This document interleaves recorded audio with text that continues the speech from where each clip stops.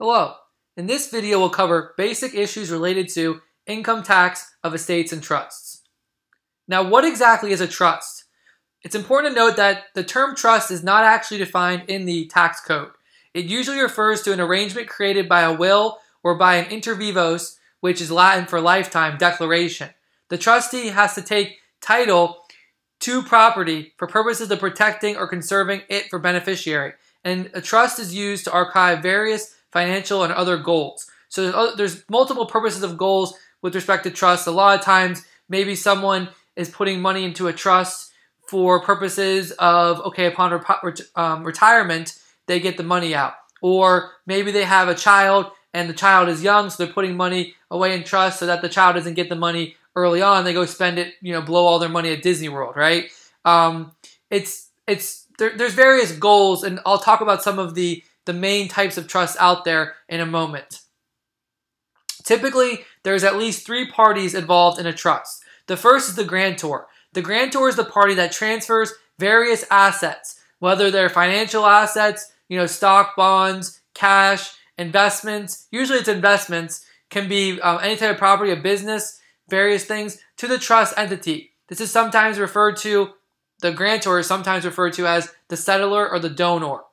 The trustee is the party that is charged with the fiduciary duties associated with the trust. Usually they get some type of management fee, but they're the ones that need to be managing and making sure the trust is doing its goals. It's it's building, it's it's gaining in size so that upon whatever event occurs, it will have more than simply just what was originally put in by the grantor. Now this can either be an individual or a corporation. The beneficiary is the third party. This is the party, and there can be many beneficiaries, but there has to be at least one that's designated to receive income or property from the trust, again, at some point um, along a, a timeline. So, as I mentioned, trusts are all about certain goals. There's some major types of trusts out there. The first is a life insurance trust. A life insurance trust holds a life insurance policy on the insured. A lot of times you'll hear this referred to as um, an ILIT, irrevocable, irrevocable life insurance trust. This is a common term, ILIT. It removes proceeds of policies from the gross estate if it's um, irrevocable, which is the ILIT purpose. So it brings it out of the gross estate for estate tax purposes, and that's another purpose of trust. We're talking about income taxation in this video, but a trust can be used to actually um, avoid wealth transfer tax like the estate tax and also gift tax. It can be a way to um, so that someone doesn't have to pay a ton of money in gift tax. You can uh, plan through using the applicable exemption amount as well as um, the annual exclusion amount. Life insurance trust, there's safeguards against the receipt of proceeds by a young or inexperienced beneficiary. Again, you put on certain strings so that that person can't just get all the money and blow it all at Disney World, but use it maybe towards um, a business later on in life or something more a wi- better, a wise, wiser decision. So another common trust is a living revocable trust. So this is during the life of the grantor. Revocable meaning that the grantor or whatever party is designated has the ability to revoke the trust at um, various points or any point. It's, it's a, a way to manage assets. It reduces probate costs. Upon death, the probate process can be a, um, a timely and a expensive process. This is a, a way to avoid that with respect to those items. It provides privacy for asset disposition. So you might not know the parties involved, protects against medical or other emergencies, and provides relief from necessity of day to day management of the underlying assets. Trust for minors. So this is the Disney. This is the Disney example I've been saying, right? This is a way that a lot of wealthy people that might have very young minors, you're not just going to give them one day a billion dollars. They'll blow it the wrong way. They'll blow it on, you know, they'll do something you know, they're probably not going to be as wise as they're going to be later on in life. So there's various things you can put age restrictions. Maybe they get a certain amount when they turn 21 or 18 or 35 or 30, various things, or maybe upon marriage or various events. This is a way that um, you can set money aside for college education, and it can be, um, you know, this must be used for college.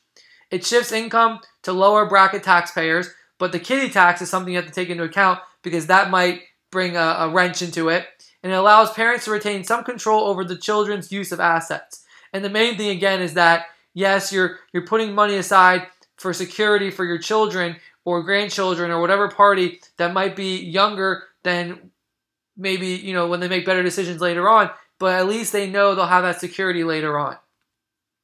A blind trust is where the grantor, without his or her input or influence, um, is the assets are held and managed. So an example is while the grantor holds political office or some other sensitive position where you can't have any type of um, you know strings attached to any type of organization where you or you're biased or have some connection. Retirement trust is a special trust that's tax exempt that manages assets um, of contributions under qualified retirement plans. Divorce trust uh, manages assets of an ex-spouse and ensures they'll be transferred on prescribed schedule. So if you set aside um, maybe property settlement over a certain period of time, can put it into a divorce trust. Liquidation trust is where um, it's managed assets and final dissolution of a corporation undergoing a complete liquidation. Because sometimes the corporation or business might um, be liquidating over a plan over um, several years, so money is set aside in liquidation trust. So those are just some of the major types of trusts. There's other ones out there. There's um, various special needs trusts for various parties. There's actually pet trusts. What if you have a pet and you want to put money aside for your pet upon your death? This is a very interesting issue. Um, there's been um, some interesting cases. Leona Helmsley with her dogs, they put money aside. There was a dog um, in Miami Beach called Conchita. You can look it up. The Gail Posner estate. I actually um, was I had a fortune of uh, working on this uh, case, or at least seeing some of the facts about it. It's, it's settled, obviously, but very interesting case. You can look it up. Basically, um, all the issues, lots of issues related to pet trusts out there. It's a very interesting topic. You know, setting aside millions of dollars to your um, to your dogs, but you set aside barely any money to maybe your your physical your actual children, your actual blood children. So, for example, one of the um, cases, um, the Chihuahua got ten million dollars, and the actual son got about five hundred thousand dollars through a trust upon the um, the grantor's death. So, interesting case. What is an estate? So, an estate is created upon the death of every individual. Basically, the estate is really meant to, um, once an individual dies, deals with okay, how do we wind up things? Okay, the individual had a bunch of assets. How are they going to be distributed? Through will, through trusts, through testamentary trusts? How, how, how are we going to be able to, is it going to be through inheritance law? How is the, how are things going to be wound up? Various liabilities that might be owed, um, whatnot. Okay, that's what the estate is all about, is going through that process. It collects and conserves an individual's assets, satisfies all liabilities, and distributes the remaining assets to heirs. Now, in general, taxable income of trusts or estates is taxed to the entity or to its beneficiaries to the extent that each has received the accounting income of the entity. So you're going to see that even though we're talking about tax, we have to worry about accounting income, which is different from tax income. So whoever receives the accounting income of the entity or some portion of it is liable for the income tax that results. So we're going to talk about corpus, corpus versus um, income portions because accounting income has a big component of that. Now, the filing requirements. The fiduciary of the estate or the trust must file a Form 1041, um, a U.S. income tax return for estates and trusts in the following situations. Now, it's important to note that the Form 1041 on estates and trusts is for the income tax element. If you're dealing with the wealth transfer taxes for estate and gift tax, that's a different form, and please see the wealth transfer video. For an estate with gross income of $600 or more for the year, they have to file. If it's less than that, then they don't. For a trust that either has any taxable income or if there's no taxable income, had gross income of $600 or more, has to file. The due date is the 15th day of the fourth month following the year end. So that would be the um, the same if it's a calendar year, be April 15th, just like an individual. Now, the tax year for an estate is either calendar year or fiscal year. Um, and a trust, it's always going to be calendar year. So for a trust, it's always going to be due on April 15th the fourth month of the, the 15th day of the fourth month. So that's April 15th for the calendar year. And there are extensions that can be out there for um, filing that can be um, requested and whatnot. Now, just like individuals, estimated tax payments um, have to be made in obviously certain circumstances using the same schedule as individuals. Okay, that's important to understand. There's some special rules there I've noted, but that's all I want to mention about the estimated tax payments. So let's talk about accounting income. I mentioned this earlier. Accounting income is based on the controlling document, the estate, the trust controlling documents. Now, either the document or state law determines whether amounts are allocated to corpus or current income. That's very important. When you think of corpus, what we're talking about with corpus is we're talking about the body. So that's Latin corpus is body. And what we're talking about is the principal. Think about the principal. Let's say you own some bonds that pay interest every six months over, let's say they have a maturity date of six years. Well, the corpus is the actual principal amount of the bond. If it's a million dollar bond, the corpus will be a million dollars. The income is the interest that comes off the bonds. So that's what we mean by I mean current income. Well, if we're allocating amounts to corpus versus current income, current income obviously is taxable as gross income. Corpus is just simply a return of capital, if you will, or it just goes towards the capital. If the entity distributes income currently, that income should generally correspond to accounting income. So here are some common allocations that you normally see, and this is not always the case, again, because the document controls, and again, state law also can control. So items that are allocable to income are what we usually think, and these are the things that are obviously going to be gross income.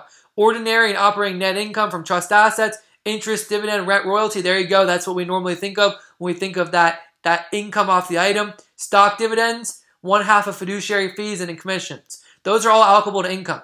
Allocable to corpus, though, is depreciation on business assets, casualty gains, losses, insurance recoveries, capital gain loss on investment, stock splits, and one half of fiduciary fees and commissions. So one half of the fiduciary fees commissions comes out of um, allocable income, and one half comes out of corpus. So not only is it a tax issue in terms of calculating gain or loss, but you're talking about accounting income, you're saying, okay, well, what is being increased? If we have some dividends, it's increasing the income. But if it's increase, but if it's um, depreciation, it's going to decrease corpus. If we have a gain, if we have a gain from casualty on income producing um, assets, it increases corpus. Because what could happen is in the um, the will or a various document, the corpus might be allocable to a certain party, but the income um, might be allocable to a different party. So one beneficiary might get the income off of um, the interest off of the bonds, but then after a certain period of time, maybe another party maybe um, gets the bond itself. So that's why it's important to understand income versus corpus. And also you have to worry about that for tax purposes because of various, um, you know, tax recovery of capital and whatnot. Because obviously, if it's interest, all that's considered taxable. But if it's a bond, well, that has some type of recovery of capital element because upon maturity, there might be some um, coupon amount or whatnot attached to that. So generally, estates and trusts act as conduits for income received and taxation is at the beneficiary level. So at some point, think about it like a partnership where it's a flow through or an S corporation, it's a flow through. But you still have to go through the accounting income and the, and the taxable income of the actual entity, the estate or trust. Okay, by the way, estate or trust is a taxpayer. I mentioned it as an entity. It's really, think of it as its own separate taxpayer. Estate, estate is, a, is a type of taxpayer, a trust is a type of taxpayer. They are, they're separate from an individual, even though they're a flow through, if you will, through the sense of a conduit. This is codified um, through the allowance of distribution deduction, which we'll talk about. Now, there's some exceptions to this rule about the generally estates and trusts act as conduits, and that's for a complex trust, which accumulates income for a specified time, and estates um, that are not always required to make current distributions those are going to be taxable. And those can be very, uh, as, you, as you can see from the term, complex. In these cases, or other cases where the entity is not required to distribute current income, the entity itself is taxed. So it doesn't simply just flow through to the, um, the parties, it, it actually is taxed itself. So property distributions, generally an entity does not have to recognize gain or loss. So you might be thinking back to like um, corporations where Remember when a, um, a, a C corporation uh, makes a property distribution, it has to um, it has to record gain or loss and has to take that into account. Well, it, can only record gain; it can't recognize loss, right? That's the same issue here. Generally, an, entity does not have to recognize gain or loss. Um, but the beneficiary takes the same basis in the asset as it had in the estate or trust. So that's a little different from corporate the corporate rule. Distribution absorbs the DNI, which is the distributable net income, and qualifies for a distribution deduction to the extent of the lesser of basis of the beneficiary or fair, fair market value. Um, the trustee or the executor, though, can elect to recognize gains and losses on assets distributed in kind. So there can be an election, and if that's done, the beneficiary takes a basis equal to fair market value. So the rule here is, the general rule is, okay, the enti- the actual entity, the, the trust or estate, does not have to recognize gain or loss on the distribution. That's the general rule. But the catch is that the beneficiary takes a carryover basis. If there's an election that can be made where the trustee um, or the executor can say, okay, the entity is going to recognize gain or loss, and if that's the case, the beneficiary does take fair market value, which this is a, a rule similar to the um, corporations, the C corporation rule on property distributions, except remember, C corporations can never recognize a loss. Here you see they can. That's very interesting. And again, distribution absorbs the DNI, distributable net income, which we'll talk about distributable net income in a moment. Deductions. So all of because a estate or trust is just like a general taxpayer, most of the individual rules apply to trusts and estates as well. But we have to adjust some things. So we'll talk about those. So deductions are allowed for ordinary necessary expenses, just like we have for trade or business and production of income right? We have ordinary, necessary, paid or incurred during the taxable year in carrying on trade or business. That's what we're talking about here. So trade or business, production of income, management, conservation, um, or maintenance of property, and determination, collection, or refund of any tax. So that's really the, the section 162 trade or business and the section 212 production of income, management, conservation, and tax related item that we usually see. Okay? So that's very important to understand. Now, there's other deductions um, with respect. No deductions allowed for expenses related um, to the production or collection of tax exempt income. So we saw that in the individual rule where um, tax exempt income, you can't get a deduction. That's the case here too. So that just flows over as a normal rule. Cost recovery deductions are allocated proportionally to the recipients of accounting income. So we're talking about depreciation, amortization, those kind of things. Deductions are allowed for casualty or theft losses and NOLs wash sale and related party rules do apply. So um, those special wash sale and related party um, loss rules, they do apply to estates and trusts as well. Other deductions, they may be eligible for the um, domestic production activity deduction, which this, the DPAD, um, just so you know, some years this hasn't been allowed, other years it has. Please look at whether the DPAD, the domestic production, um, production activity deduction, is allowed to be taken normally. If it is, then a, a state or trust will be allowed to. Charitable contribution deduction is allowed to the extent of amounts included in gross income for the year. Okay, now we're talking about distributable net income, which is very important concept. So an entity is allowed a deduction for the distributions to beneficiaries. And this is how a simple trust or just a normal trust that's not complex can get away with not having to pay tax. It's taxed at the beneficiary or the um, actual, the flow through level. So that it's through a, a, a deduction for distributable net income. So distributable net income is used to compute the amount of the deduction. There's a maximum amount of uh, the beneficiary can pay on tax. The character is preserved so it flows through, um, and it's the maximum amount of the uh, distribution deduction. So we have some steps to calculate the DNI, or the distributable net income. First, we determine the entity's taxable income before the distribution deduction. This includes all the entity's income, deductions, gain, losses, and it also includes personal exemption. Next, step two, we make the following adjustments to the entity's taxable income. So this is kind of similar to what we do when we um, do adjustments to corporations to get go from book to tax income. We have to add some adjustments. Also similar to the uh, the old uh, alternative minimum tax system that we um, that you might have heard about at one time. So we add back personal exemption, net tax exempt interest, and net capital losses. We subtract any net capital gains that are allocable to corpus. So for estates and complex trusts, the distribution deduction is the lesser of the deduction portion of DNI or the taxable amount actually distributed. For a simple trust, though, the full distribution is always assumed. It's just pre pretty much pro rata. So the entity's taxable income is calculated as follows. We, we start with the entity taxable income before the distribution deduction, then we subtract out the distribution deduction, and that gives the entity taxable income. So if we have a simple trust, guess what? It's going to be zero because that dis distribution deduction will equal and it'll, be, it'll flow through to all the different owners, well not owners, the, the parties that get that portion. So um, how do we allocate the distributable net income deduction? Okay, or the distributable net income of the parties. Um, the deduction goes to the actual entity, the estate or trust. The distributable net income goes to the various parties, the beneficiaries, and whatnot. So each type of DNI must be allocated proportionally to the income beneficiaries.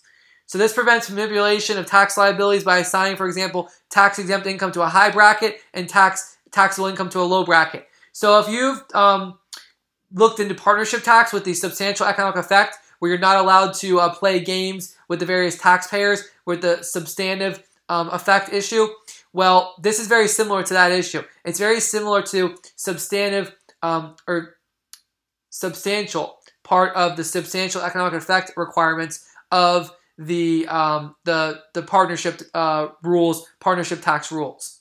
You can't allocate certain things to one or the other. It has to be proportionate to the income beneficiaries. The amount taxable beneficiaries for a simple trust, DNI is always the taxable uh, maximum amount. It may be less if the DNI um, includes tax exempt interest. If more than one income beneficiary, we apportion elements of DNI ratably. Again, for simple trust, it's all about ratable proportionate. The amount ta that's taxable to beneficiaries for estates and complex trusts, though, we have to use a two-tier system. So if we have a simple trust, we simply just use pro rata and the maximal amount is the DNI. That's what's taxable to beneficiaries. But if it's an estate or a complex trust, we use a two-tier system. The first tier is income that's required to be distributed as categorized. The second is all other amounts of property paid, credited, or required to be distributed. So for the first tier, if that's, if that's all we have, if we only have first tier, so we, we don't have any second tier, we only have first tier, which again is the income that's required to be distributed. If we only have first tier, we use the following formula. We do the first tier distributions to the beneficiary over the first tier distributions to all. We multiply that by the distributable net income, and that gives the beneficiary share of distributable net income. If we have both first and second tier distributions, and the first tier distributions exceed the DNI, we use the previous formula to allocate the first tier distributions, which is right here. We just saw this. First tier distributions to the beneficiary over first tier di distributions to all beneficiaries times distributable net income equals the beneficiary's share of distributable net income. Now, that's for the first tier um, distributions. Again, ha those have to exceed DNI. The second tier distributions are not taxed since all DNI has been allocated to the first tier because we do first tier approach. It's that it's that ordering rule. We start with first tier. We use our formula, right? And then the second tier, well, we don't have enough because it already exceeded DNI. So the idea is that you're trying to use up the DNI for that respective um, party. Now, if we have first and second tier, but the first tier do not exceed DNI, but the total of both the first and second tier does exceed DNI, the second tier beneficiaries recognize income as shown below.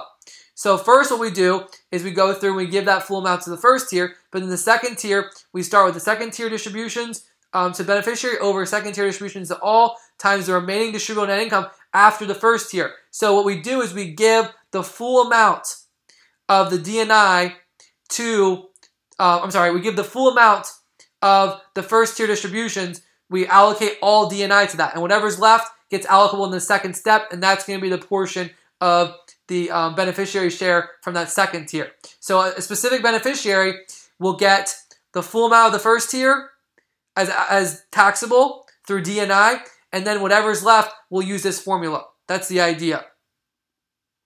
There is a separate share rule for the sole purpose of determining the amount of DNI for a complex trust and estate. So again, not a simple trust, complex trust or estate with more than one beneficiary.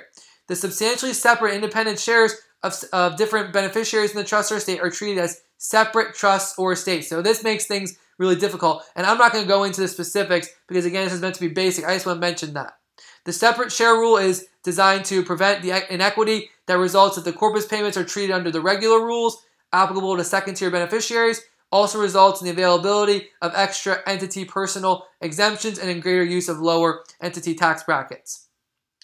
Character of income. So there's various classes of income that retain their character and flow through to the beneficiaries, just like we have with the flow through entity. So it's, it's various flow through items, think of it like separately stated, it flows through. If all the DNI is distributed and there are multiple beneficiaries, allocation must be made among various classes of beneficiaries.